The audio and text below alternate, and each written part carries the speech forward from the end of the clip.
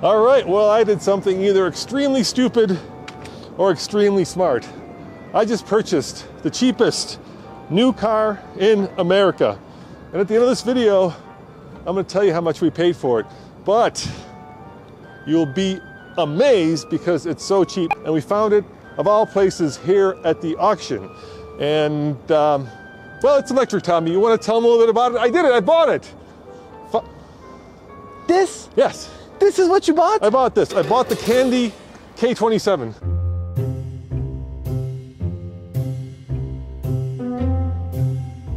Kandi is a really interesting little company. So a couple of years ago, there were all these big headlines. Company coming out with car that's going to be $7,000 after tax credit. It's a fully electric car. They went through EPA certification for range and efficiency. And then the company just kind of, well, went out of the limelight. And as far as I know, they didn't sell hardly any of these. And this car is brand new, unsold with 27 miles on it. Look at that. Look at all that electric goodness, Tommy. Now, I don't know much about Kandi, but I do know that when you can get a brand new car for, well, I'm going to tell you, less than $10,000, you're doing pretty well. So uh, let's do a bit of a walk around. Uh, it certainly has some high performance tires. Uh, these are uh, maximum, what are they called? Maximum uh, double stars, Tommy. The double stars. The maximum double stars, yeah. Uh, and I think they're uh, 165, 65. Oh, they're 14 inch wheels. So when Kandi came out with the range number on this car, Yeah. they said 100 miles. Yeah? 100 miles of range. That's okay. Amazing. So this was like $12,000 before the tax credit, $13,000. Yeah. And then the EPA said, no, it's not 100 miles of range. No? The EPA said, heck no, it's actually 59 miles of range. So what do we got? So 59 miles of range. It's got a 17 and a bit kilowatt hour battery. So it's a pretty small little car. Wait, wait, that's a problem because we got to drive it back to the office. Yes. And it might be close to, what do you think? 30 miles. 30 miles? And it's been sitting for well over a year unsold. But let me let me walk you through the Kandi, right? right, walk us through the Kandi because may have been something very stupid now. So here's the thing. Kandi was like, this car, we're gonna pass all the crash tests. You're gonna be able to drive it anywhere. Top speed 63 miles an hour. And as far as I know, that's not true. I don't think that this car actually did all of the things it was supposed to do. It does have a cool name, K27. That's a terrible name because they did one called the K23, which was way more expensive. Why is it? What does a 27 mean? It's got parking sensors, Look, look, look at. backup camera. Hang on, hang on. We got to peel off the Oh, you get to peel it off. It's brand new. brand new backup Look at, camera. look at this. For uh, all the money that we paid, we even get a charger with it. Rust. Oh, trust. And look, it says trust, so it's got to be good. Let's see. It's got a real trunk. Well, it has a trunk. It comes with a uh, little green thing. What's under here? What's under the floor. I'm worried that that's structural. I think that foam might be structural to the chassis, Dad. Look at that. Multifold. Multi-fold seats with child anchors, Look at this. It's got. Uh, look at it. It's got little. Uh, little hooks. little well, it's broken. Oh, there. No, there it goes. it. Look at that. It's got a little hook. So if you're a businessman and you're out there trying to sell, you know, more Kandis, you can hang your slip. Look at it. Not, these are. They have not even been. It's got real seat belts. Look at. Look at that. Look at. I get to take that off too. Check this out, Dad. Yeah. Oh. Look at that. Rear Oh, seat Fold it forward again, would you? and reclines. Fold it forward. There's a triangle there. Look. Oh, we got a triangle. Yeah. right there. Holy moly. Yeah, a triangle. When we get stuck on the way home. This car really was intended for mass market sale, and there's a couple of reasons you know that. If this was intended to be some golf cart thing, it Well- wouldn't have an airbag. But this car does, in fact, have airbags one for the driver and one for the passenger, power windows, and power door locks. Steering wheel, buttons with volume, phone connectivity, Air conditioning. air conditioning, We have air conditioning. heater, and look at the screen. But we have no uh, we have no park. So yeah, the controls park, reverse, neutral, drive, and sport. And then the, to put it in park, you put it in neutral, and then put the parking brake on. Should we see if it starts? We have no owner's manual. No owner's manual. That's bad. Let's see if it starts. Okay. How will you know? Oh, it booted up. Look at this, we got a gauge cluster with a tachometer for some reason. I don't know why that is. And then you can see miles an hour with 60, and then 60 it turns red. And like there was a lot of attempt to make this car legal for US roads. Are we going to be able to make it home, you think? Will it make it? I hope so. Should we take it on the highway or is it does it go slower than that? Well, so the initial reviews when, when Yeah. Kandi was letting people drive this car, Yeah. it would do 63 miles an hour. Uh-huh. But from what, as far as I can tell, they never sold the 63 mile an hour one, and they limited it to 35. Ooh. Um, I, I don't know, Tommy. I don't know if I bought, you know, an expensive go-kart or the coolest, cheapest electric new car in the world. It's got airbags. Yeah, it It's a does. safe vehicle. Does it have cruise control? It, it does not have cruise control. All right. Well, should we try taking it for a spin? Let's take it for a spin. Howdy, folks. Nathan here with fantastic news because I bring you the Henry Ford Estate Ford Bronco Raptor giveaway. Enter for your chance to win a 2023 Ford Bronco Raptor with the Lux package. Rolling on 37 inch tires, this Bronco is powered by a 3 liter twin turbo EcoBoost V6, good for 418 horsepower and 440 pound feet of torque. Its 10 speed automatic transmission and 4.7 axle ratio is ready to fly down sandy washes or crawl over the toughest terrain. The Lux package adds a kickin' 10 speaker B&O sound system and adaptive cruise control. Nice. We at TFL have spent plenty of time in the Bronco Raptor and can attest to its capability for adventure and its position as one of the world's best off roaders. Heck, Andre even jumped it. Entry support Fair Lane, the former home of Clara and Henry Ford. Now a National Historic Landmark, Fair Lane is an independent nonprofit organization that raises funds to restore and reimagine Fair Lane. Your support of the Bronco for Fair Lane sweepstakes will enable an award winning team to preserve the home and illuminate the legacy of Clara and Henry Ford for future generations. Click on the link below for your chance to win a Ford Bronco Raptor and support a great cause Fair Lane, the former home of Henry Ford. It is a little silly looking, isn't it? It is incredibly narrow and incredibly tall, Yes. um, and actually very comfortable. Look how we actually fit in here pretty good. I know, it's really comfy. Should we see if it does a burnout? Yeah, try burnout. Okay, we're gonna do a burnout. We're gonna do a burnout. Putting it in sport mode. There's no sport mode. There is a sport mode. There is a sport mode. S? No, it won't do a burnout. Won't do a burnout. No. All right. Well, let's uh, let's see if we can drive it home. Look, look. When I close the door, look at this. I'm not sure about the crash standards, Tommy. The door is a little. Uh, it's a little uh, squishy. a little flimsy. It's a little squishy. Hey, Tom, you sure you don't want to take the uh, Silverado EV? it's not too late. It doesn't have the same character as the Kandi. And did you see this stat? So you plug it in here at the nose, and look at this, it uses a standard J1772 plug. It's not some weird homemade thing. I mean, this car really felt like it was pretty close to hitting the, okay, that's not great. Really close to hitting the market. You know, uh, you know what they say about the Kandi K27, Tommy? Uh, Nothing, because no one has said anything about the They Kandi. say it's the i3 of the Kandi lineup. oh yes. It was that far ahead in its uh, Very true. engineering and its styling. I mean, um, you know, it's got this. Well, let's face it. I think the designers use a spatula uh, as inspiration for the uh, for the front fascia. Yeah, and cardboard, clearly. I have to say, Tommy, um, it does have everything you need and nothing you don't. So, the question is, you need the air. I don't even want to try. Oh, we got to try the air conditioning. Sure, we'll try the AC Let's system. try the air, see if it works. Look at this. So Dad, this car has 40, 27 miles on it. Oh yeah, look at that. It's brand new. brand new, cheapest car in America. I'm telling you. And um, the range number right now says 96 miles of range at 83% state of charge. So that should get us to the office. Okay, hold on, Dad. We're making a merge. That was the uh, K27S had the volume knob. Oh, yes, okay. Okay, I'm go- going into drive. Full throttle, 25 miles an hour, 30 miles an hour. Oh, it just hit a wall. Is that our fastest? 35. We got a 35 mile hour top speed. That's it, Dad. Feels fast in this. Hey, cold air, dude. Ah, we got AC. We got AC. Look at that. Oh, very good. Yeah, I'm gonna turn it off. So it, it only goes 35 is what it's limited to. Can we jailbreak it? That would be pretty cool. We gotta jailbreak this. We got we got to jailbreak this thing. Definitely, that is that is the next video. Jailbreaking the Kandi. Dear God, Dad, we're on a 50 mile an hour road. People do like 70 here. We're doing 34. I think we're gonna take the back roads home. Oh my gosh. Hey, maybe we've got regen, Tommy, because we're already at 80%. All right, let's check it out. We're going over the bridge here. Go, go over the bridge and see if we have regen. Okay, ready? I'm gonna let off. Oh yeah, look. negative 34 amps, negative 32. We have regen. It's got regen, baby. oh yeah, that's why it's the i3 of the uh, Kandi lineup, Tommy.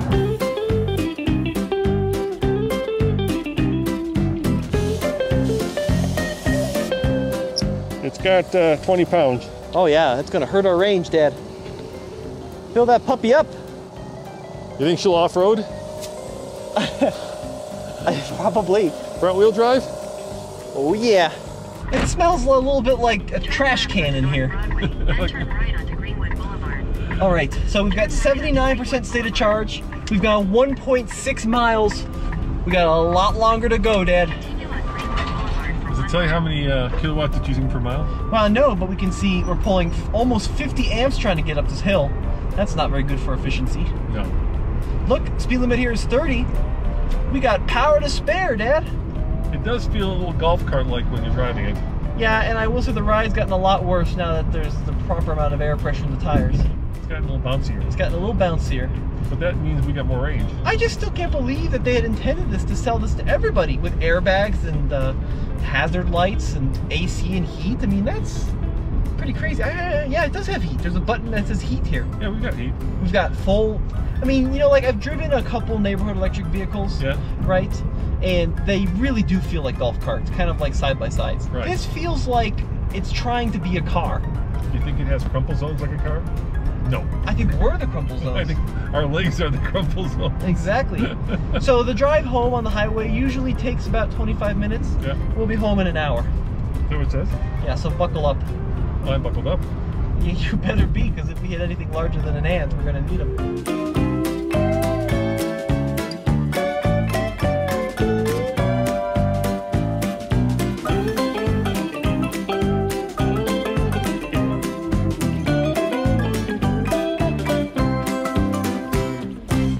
Hey Tommy, how do we manage to pick a route that only goes uphill? Yeah, that is pretty um pretty mysterious, Dad. And we've gone 4.7 miles, and we've used 10 miles of range. So we are burning through this little battery. We've got uh, another uh, 23 miles to go. Yep. Um, but you know what? It's actually doing pretty well. It's a little bouncy and a little tinny, but it's got a good radio. It's uh, got really good steering and it's got good brakes and it regens. I mean, it's basically a Model S plaid. Let's face it, people are gonna call this a golf cart, but a golf cart has lead acid batteries, right? This has lithium ion? I think it's lithium ion or it might be LFP. Okay. I'm not sure. Um, but it's got power windows, it's got a heater, AC, it's got real interior panels, it's got airbags. Most, I, most importantly, it's got hazards. I keep talking about the airbags because I'm worried that um, It's gonna blow up. Yes. I'm worried that that might be the death of me, and I hope we never have to use them. You know, if this thing did 60, and as long as you signed the waiver saying I wouldn't care if I died in an accident with a B, this would be a really popular car because it was like 12 grand, maybe 13 in before the tax credit, which at the time was $7,500. It was before the whole thing went revamped. So it's been a lot of car for, for a lot of people if you know your tax liability was was such. You know, this would be a great little car if you live on an island. You know what I mean? And you need to putt around in the grocery store. Oh, I'm driving this thing everywhere, Dad. Really? Is this gonna be your new ride? Oh yeah, I'm taking it all over Boulder. We're commuting in it. We're taking it to the airport. I, can, I can just imagine the uh, call to the insurance agents. Uh, you bought a what? A- Yeah. A Kandi K27. Oh, let us look that up in a what? Hey, we're going downhill. What's your top speed? 50. Holy moly. 55. We are hauling butt.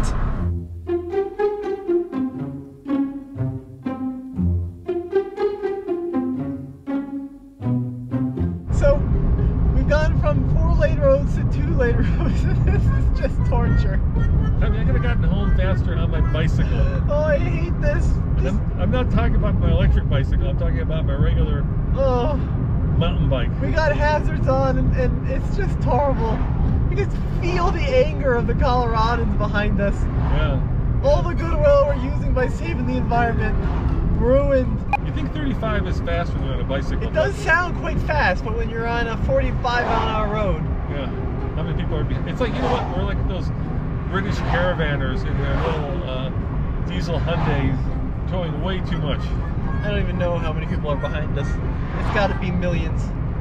Uh, luckily, we're almost back to um, Boulder and the two lane and he would start passing us. We're gonna get a lot of honks, Tommy.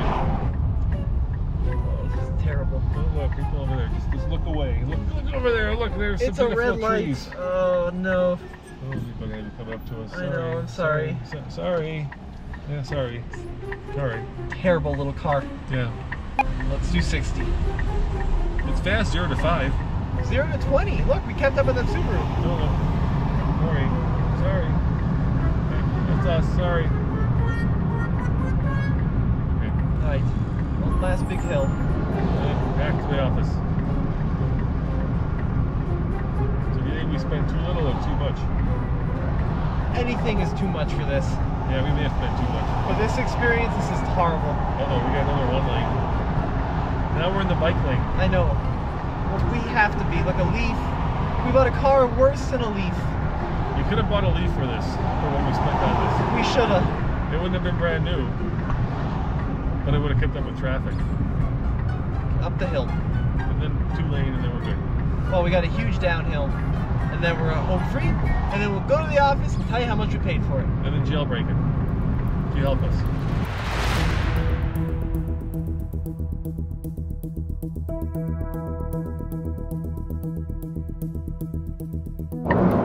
We got some kind of warning light here. Oh, gee. Oh, no. What do you think that means? I don't know what that We means. got a battery. Now oh, it's chiming. Now it's beeping at us. Uh oh. Uh oh. Did it overheat? We overheat the battery? Up that big hill? It's possible. It stopped chiming. No, that was just No, a turn it's signal. chiming. Oh, We on fire yet? We might be on fire next. Unlock it just in case. just in case we have to get out. Well, we don't have an owner's manual, Tommy, so I don't know what that chiming means. Two red lights, so it can't be anything good. No, Come on. We're almost to the we're office. almost there. We're like a mile away. Not good news there, Dad. No, Oh, no, it's it's dead. is it? Yep, We lost power. it's not moving. Okay, pull over here. Nothing. Nothing. It's blinking. It's broken down. Like a mile from the office.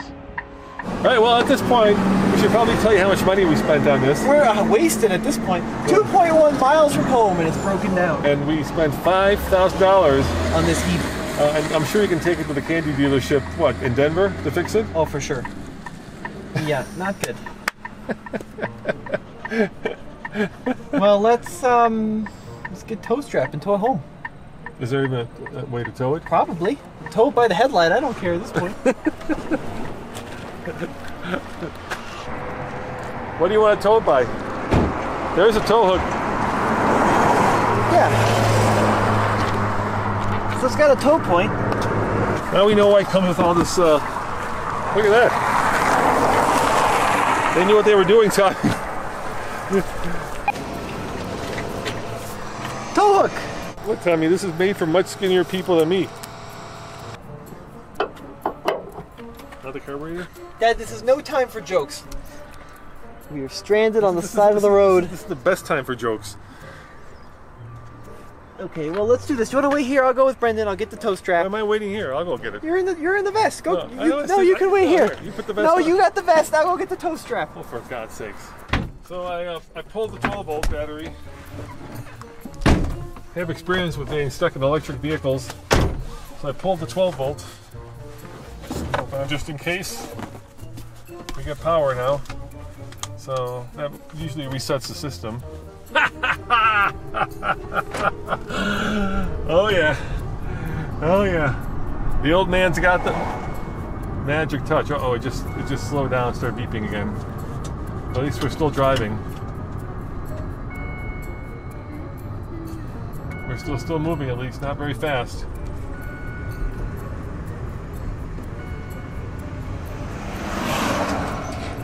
But we're moving. Come on.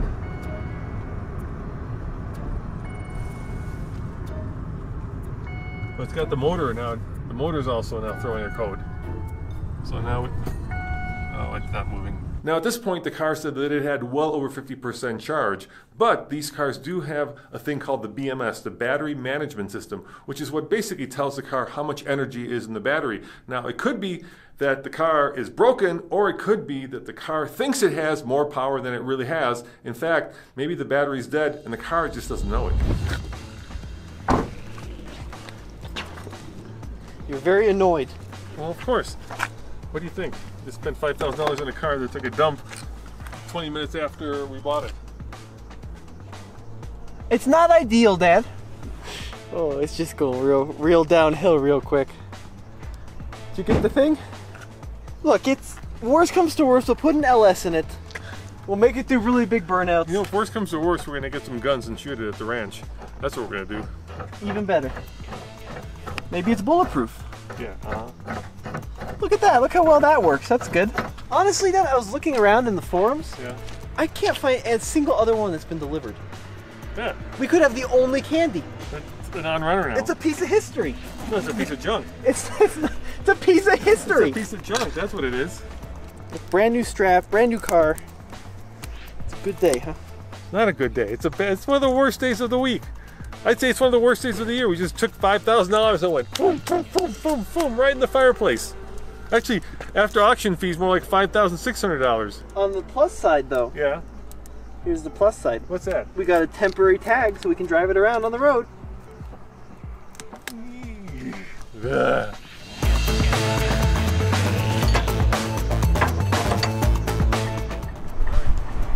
Uh, so what, what do you say we do uh, to be continued, huh?